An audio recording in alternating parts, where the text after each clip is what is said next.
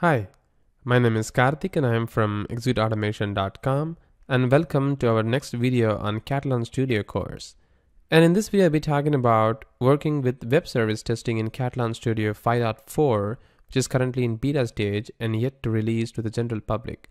And the feature that we're going to discuss today is going to be a new feature which is not yet released to the public and you are going to be the first guys who are going to see the first taste of what changes going to come in Katalon Studio 5.4. Alright, so let's get started. Katalon Web Service UI changes. So that's going to be the biggest change for this particular release, not in the functionality wise, but in the look and feel of the web services side. Katalon Studio supports web service testing for a pretty long time now, but there are new changes to UI coming pretty soon. If you are from Katalon Studio 5.3 and less, then you might have seen the Katalon Studio Web Services UI going to look something like this. It will have a URL that you can paste in and then you can do a get posts delete and different kinds of command and you can set the parameters you can set the authorization http header http body and response. And that's pretty straightforward ui and that's really really intuitive and easy to use as well. But with the new release of the katalon studio web service ui change the ui is going to look something like this. As you can see the ui is pretty much how it looks like in the older ui but just that the response has been modified a little bit and also there are some noticeable changes. As you can see, if the parameter is going to be a get parameter and if you have the query string, then the parameter is going to be added automatically for these kinds of URL. You can see the 1 and 2 is automatically added, whereas on the left hand side of the older version of Katalon, the parameter is not being added there. And similarly, you can see the response has the status of 200 OK and it has the elapsed time, size of bytes being sent and all those stuff. Kind of fancy, but that's really, really cool to see how Postman, another kind of application, does things for us. Similarly, you have a header tab separately instead of just showing in as a tree view. And there is a pretty raw and preview options, which is used to view the response in a much intuitive way. Again, these are something which is available out of the box in the different tools like Postman, Fiddlers, etc. But yeah, Katalon has improved, at least in the UI department, to make sure that the UI is going to look pretty much like the third-party tools which is available. And you don't really have to go through those kinds of third-party tools for now. Script mode, well, there is no change and the script mode is going to be looking pretty much exactly how it was working like before. So that's going to be remaining same there. So let's quickly talk about the web service server that we're going to use for our testing of the RESTful API this time for the demonstration purpose and understand how things work. So the MyJSON RESTful API server, a full fake REST API server with zero coding in less than 30 seconds. So this is the one which we're going to use for today's demonstration. And again, I'm not going to build a whole new RESTful API server to show you how things work. So I'm just going to choose this particular software which is available free online. I'm just going to use that and then I will show you how to work with Katalon Studio for RESTful API service testing. So the installation of the server is going to be pretty much like this npm install hyphen g JSON server. That's it. So I'm going to install the JSON server in global scope of npm and you can start the JSON server something like this. You can see that it has a JSON hyphen server hyphen hyphen watch dot slash db.json. Again, the db.json is a JSON file which has kind of a database structure which is used by the JSON server to parse us and show the information that we're looking for. Again, that's a very, very simple server. We can just use that for our testing purpose. So let's quickly see everything in action and understand how things work. So for that, I'm gonna flip to Katalon Studio. So this is the Katalon Studio 3.4.0 and we're going to use this guy this time. And again this is in beta stage so we have some kind of bugs in this uh, particular release. At least if you want to see a noticeable bug if you just go to the help and about you can see the version it shows is actually 3.0.5 which is crazy because it is actually 5.4.0 that too in beta stage. But the version is currently not uh, what we're looking for. Uh, but it, this is the latest version as of now and again, if you want to start creating a project, once again, we can go to the new project. And you can see that I have already tried out the web service and it's working pretty much fine so that I don't really have to show you something which is not working.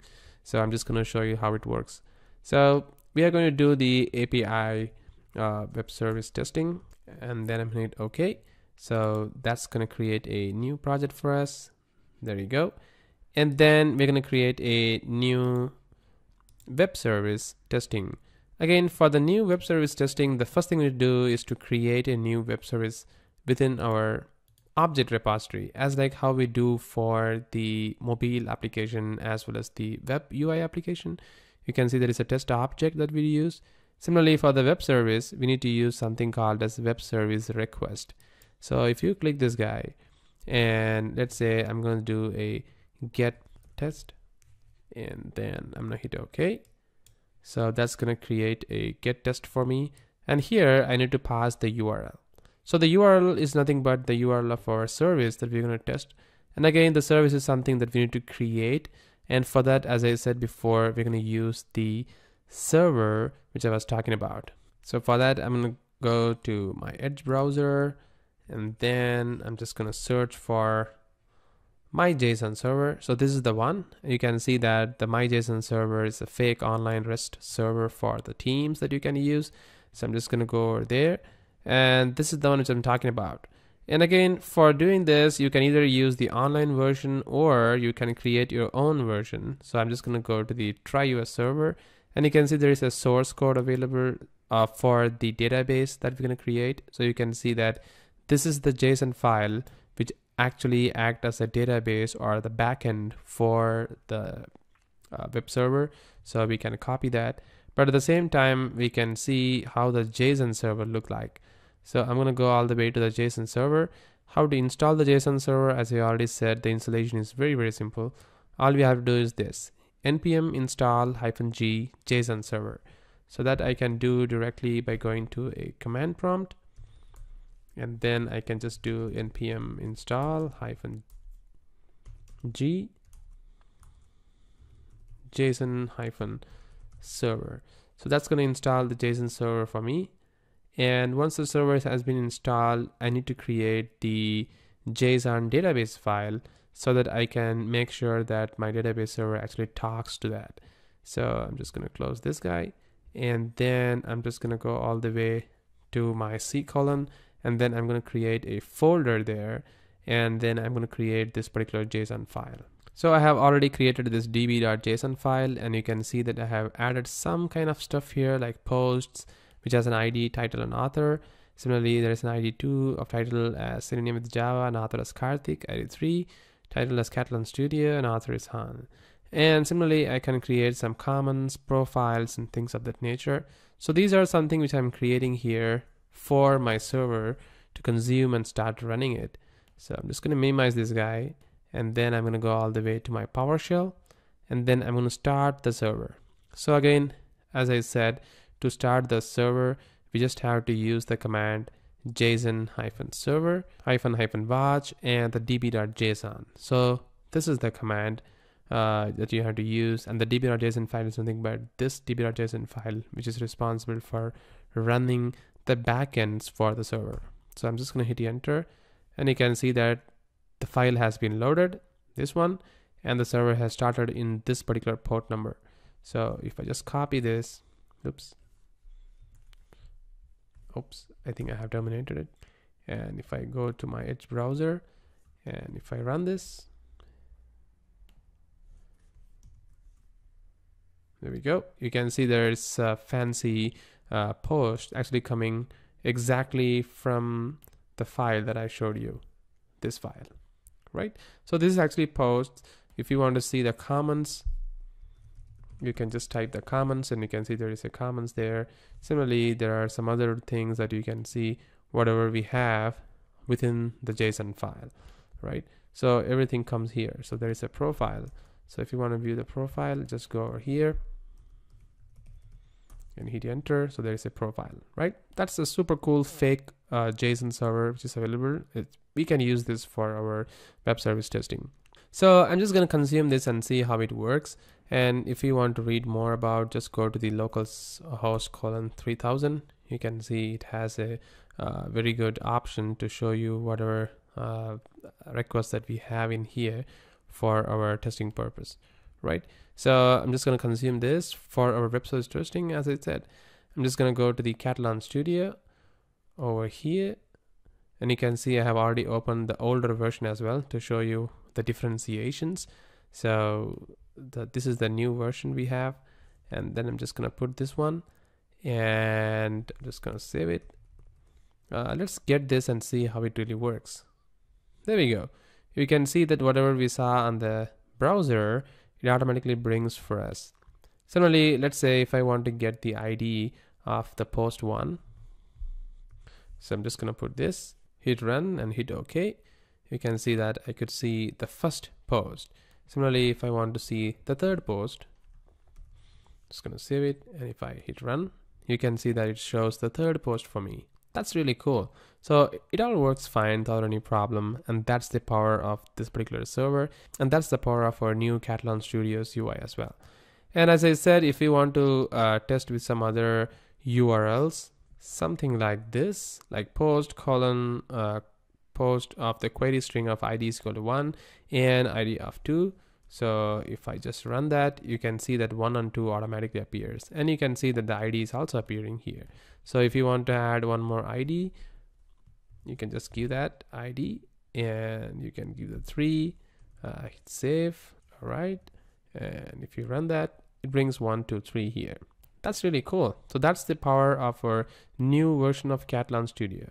And if you see the header, it automatically shows the header information, it shows the content length and all those stuff. That's really cool. So now we are going to verify if this testing that we're doing over here is actually valid in our test case. So we can just verify that and see if how it really works. So I'm just going to remove these query strings for now. And then I'm going to go all the way to the test case, hit add new test case. So basically this actually tells that there is an object repository available for our uh, post testing purpose that we are doing here. So basically these are posts that you can see here so if I run that, it shows me all the different posts which is available in my website just fakely. And if I want to effectively see that, it is actually a get of all my posts. So I can rename that maybe to get EA posts, hit OK. So that's the get request. So I'm just going to save it. And then I'm going to create a new test case this time. And then I'm going to add the name for the test case here. So uh, verify simple REST service. Hit OK. There you go.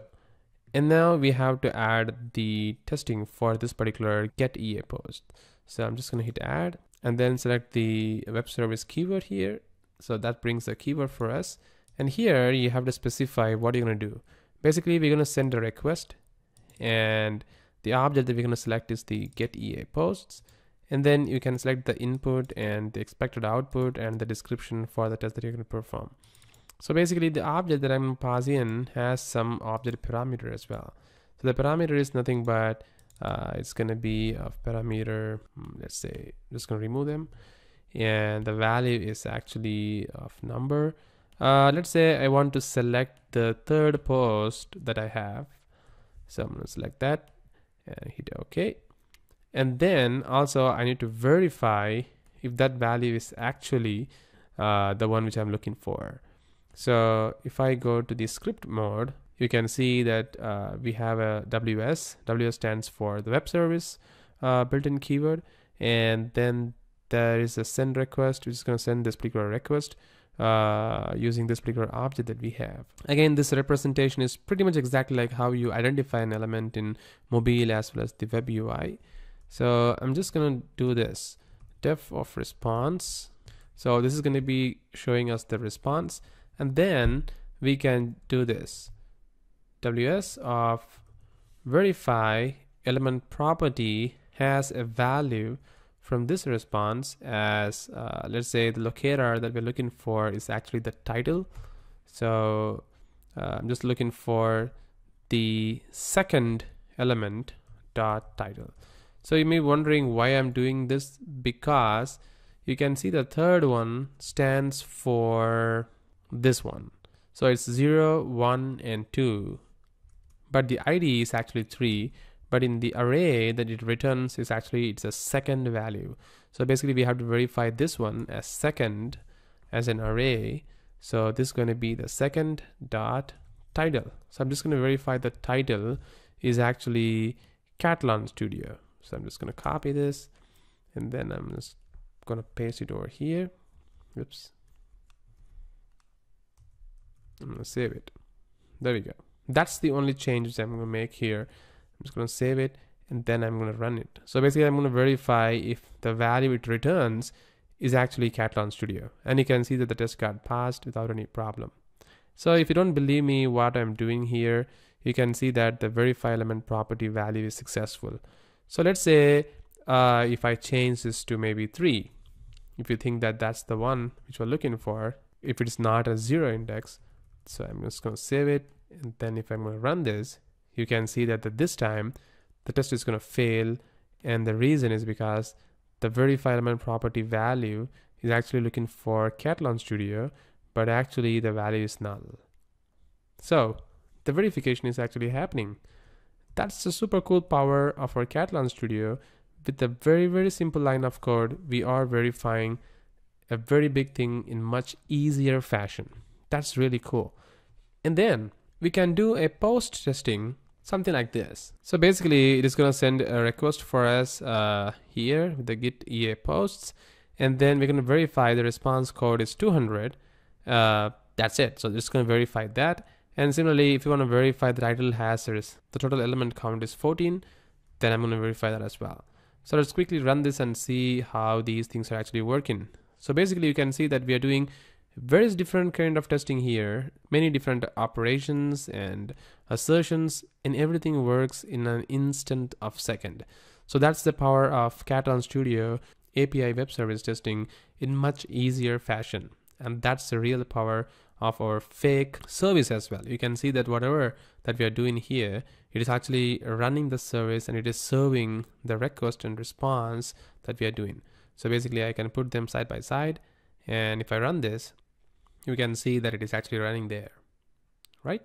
So that's it guys. So this is the new change of the Katalon Studio on the web service area and we can see that the UI is really intuitive and it is really working fine as expected. So once again thank you very much for watching this video and have a great day